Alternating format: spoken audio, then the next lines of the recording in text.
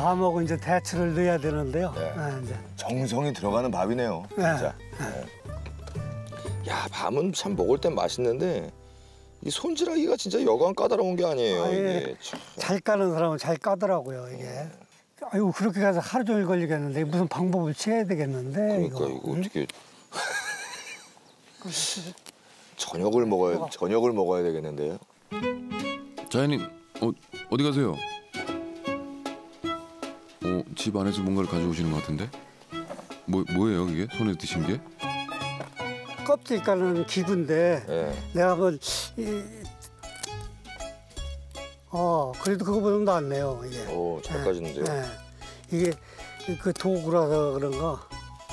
아 됐어요 이렇게 까면 되겠어요. 예. 그러면 승윤 씨는 네. 예, 그거를 까봐야 내가 껍데기 내가 까볼 테니까. 예. 아 이제 이제 까- 이제 하나 깠다. 어렵구나. 이 껍질 까는 기구 챙겨 오셨으니까 좀 더 수월할 겁니다. 예. 그래도 손이 많이 가는 만큼 정성도 듬뿍 들어가는 거잖아요. 반밥 먹기 힘드네 진짜 이거. 예. 잘 깠어, 잘 깠어, 잘 깠어. 자, 가을 산골에서 놓칠 수 없는 제철 재료들을 한대 이렇게 넣어주고요. 자 여기 얹어 봅시다. 예. 예. 아. 이 된장이 예. 이게 그냥 일반 이렇게 산 된장이라 집에서 한 된장인데 이게 한 10년은 됐어요 이게. 예. 예, 이게 10년 전 아내가 담근 된장인데요. 해가 갈수록 그 맛이 아주 깊이가 아주 다르죠. 집된장입니다. 집된장. 집된장 한번.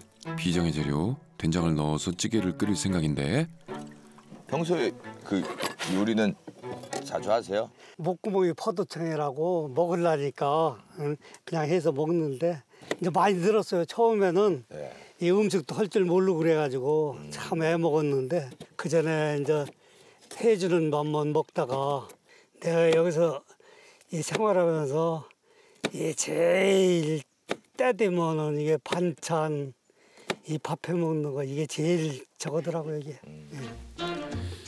산에서 사신 지 10년이 넘었어도 요리는 여전히 어려운데요. 자 이제 애호박이 들어갑니다. 예. 예. 예, 하지만 좋은 재료가 넘쳐나는 산에서 요리 실력은 뭐 그렇게 중요하지가 않죠.